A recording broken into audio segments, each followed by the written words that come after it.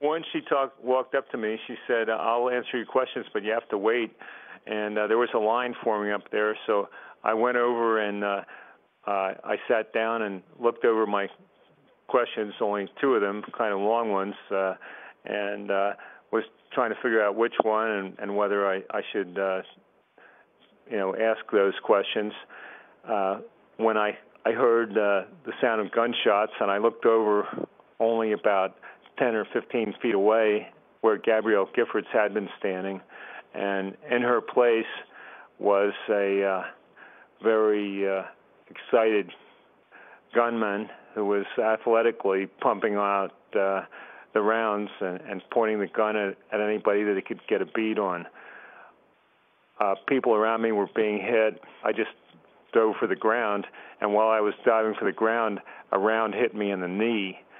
Uh, I was conscious of that, and while I was on the ground, I guess another one, another round hit me in the back. A, a fragment did hit me in the back. Uh, a woman went over and and uh, knocked a clip out of his hand. He was reloading. He had a, a Glock 9 millimeter with uh, 30 round clip in it. And my thought on the ground was that he's going to come and, and finish us off. But this woman knocked the other clip out of his hand. Then a couple of guys came along, uh, bystanders, and they uh, tackled him, knocked him to the ground. I was uh, in shock, and I, I just wandered out into the parking lot. And a woman was pushing a, a cart full of groceries out there, and I said to her, "I've been shot." and she just looked at me like I was crazy. I was taken to the hospital, and uh, even though I was sedated and everything, I I uh, stayed up. I was staying up, uh, stayed up most of the night, and uh, I didn't know how to calm myself down. So I I wrote down the Declaration of Independence, uh, which I memorized some time ago, and that did help to organize my thoughts.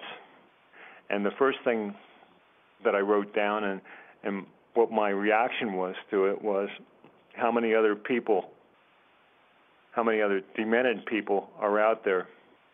It looks like Palin, Beck, Sharron Angle, and the rest got their first target. Their wish for Second Amendment activism has been fulfilled. Senseless hatred leading to murder, lunatic fringe anarchism, subscribed to by John Boehner, mainstream rebels with vengeance for all.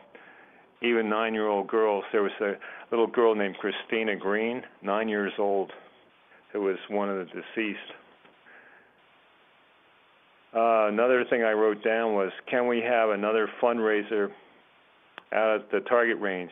Jesse Kelly. Jesse Kelly ran against her in uh, in the election, and I've heard him speak several a couple of times, and uh, uh, I, I couldn't believe he was a real candidate. I, I thought he was he was just uh, uh, uh, like a, a fake candidate.